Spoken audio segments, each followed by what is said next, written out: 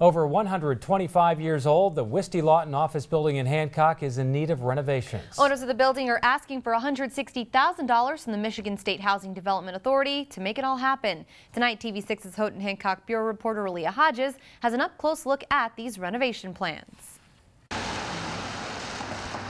Standing tall since 1888, the Wisti Lawton building is one of the latest project renovations on Quincy Street to help revitalize downtown Hancock. This is literally a cornerstone building of Hancock. It's the oldest building on the corner that people first see when they enter our community here. Since August, owners of the building have been planning to renovate four apartments on the third floor, including one apartment on the second floor. The third floor was actually uh, originally commercial office space, and then in 1958 it was actually converted over to uh, um, apartments. But since they were abandoned in the 1980s, owners of the building are looking to restore them. They're asking for a grant minimum of $160,000 from the Michigan State Development Housing Authority. When people move in, they'll feel like they're moving into a very well cared for older space. Now the plans for renovating these abandoned apartments includes preserving its historical appearance since 1903. That means restoring its plastered walls,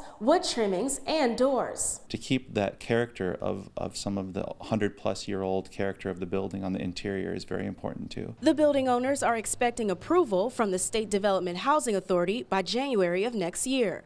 Leah Hodges, TV6 News, Hancock.